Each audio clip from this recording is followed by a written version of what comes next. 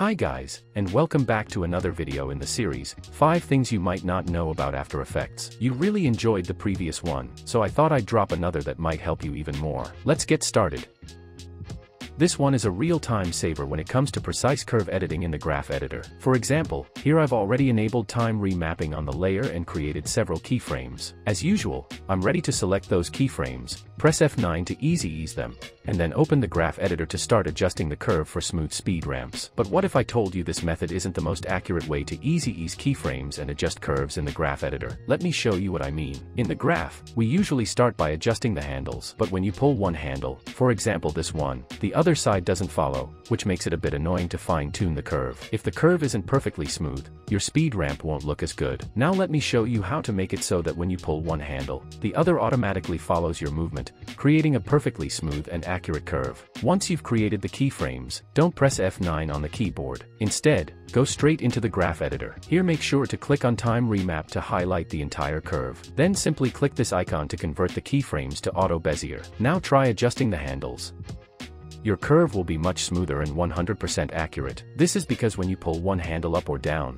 the other one automatically follows, giving you a perfectly smooth curve. The second tip is about speed ramp keyframes and the curve, since many of you have asked me on Instagram why your video goes black when creating a reverse speed ramp, videos becomes black right at the middle keyframe. To fix this, select the middle keyframe, open the graph editor, and adjust the timing by moving it one frame backward, and that's it. Alternatively, you can select the middle keyframe directly and simply drag the time remap value back by one frame. Next one is about the black screens we often encounter when downloading VFX clips, like explosions or other effects, that come with a black background. To remove green or blue screens, we normally use the Keylight effect, but that doesn't work with black backgrounds. You might have tried changing the blending mode to screen to remove it, but then the VFX can look strange or washed out. Instead, don't change the blending mode. Simply apply the color range effect to the layer with the black background. Then select the eyedropper tool with the plus and click on the black area to remove it. To smooth out the result, adjust the fuzziness and other settings below, and you're good to go. This one is a cool trick if you love looping videos. If you've been looping your clips by duplicating them several times, stop doing that. You can achieve the same result much easier with a simple expression. Right-click on the video you want to loop, go to Time,